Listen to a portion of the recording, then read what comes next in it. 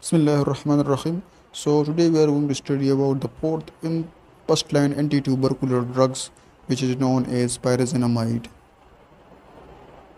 Pyrazinamide. So let's start.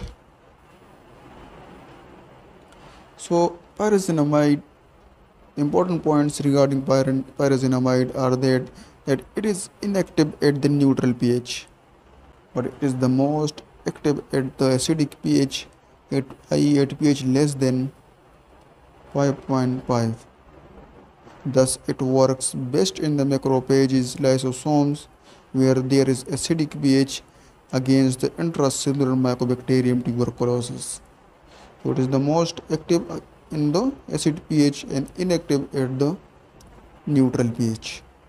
The other important point regarding pyrazinamide is that it acts as the sterilizing agent against some residual intracellular organism that may cause relapse and thus they are active against latent tuberculosis. It acts against it acts as a sterilizing agent against residual intracellular organism that may cause relapse. Now talking about its mechanism of action that how does it works against the Mycobacterium tuberculosis so when it enters the Mycobacterium tuberculosis, it is first converted into pyrazinoic acid, which is the active form of the drug, and this is mainly done by a Mycobacterial pyrazinamidase. Mycobacterial pyrazinamidase, and this is encoded by a gene known as PNCA. PNCA. Now, what this pyrazinoic pyrazinoic acid do? Although it has no specific drug target but they may cause the death of the Mycobacterium tuberculosis by the following mechanism. And the first one is that, that they may inhibit the protease synthase type 1 and this will lead to the interference with the mycolic acid synthesis. Inhibition of the fatty acid synthase type 1 and this will lead to the interference with the mycolic acid synthesis and thus the cell membrane synthesis and there, there will be no cell membrane synthesis and this will lead to the death of the mycobacterium tuberculosis. They can also cause death of the mycobacterium tuberculosis by reduction of the intracellular pH and thus making it more acidic and thus making it an unfavorable environment for the mycobacterium tuberculosis it can also cause the death of the Mycobacterium tuberculosis by the disruption of the membrane transport system. So, thus, the bacteria cannot transport the essential nutrients required for its survival. So, these were the some mechanism by which pyrazinoic acid cause the death of the Mycobacterium tuberculosis. How the Mycobacterium tuberculosis develop resistance to the this pyrazinamide. So it is mainly due to the mutation in this PNCA gene.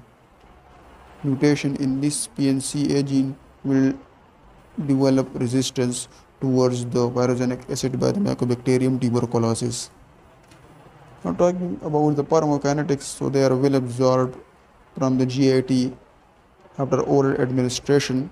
They are widely distributed throughout the body cavities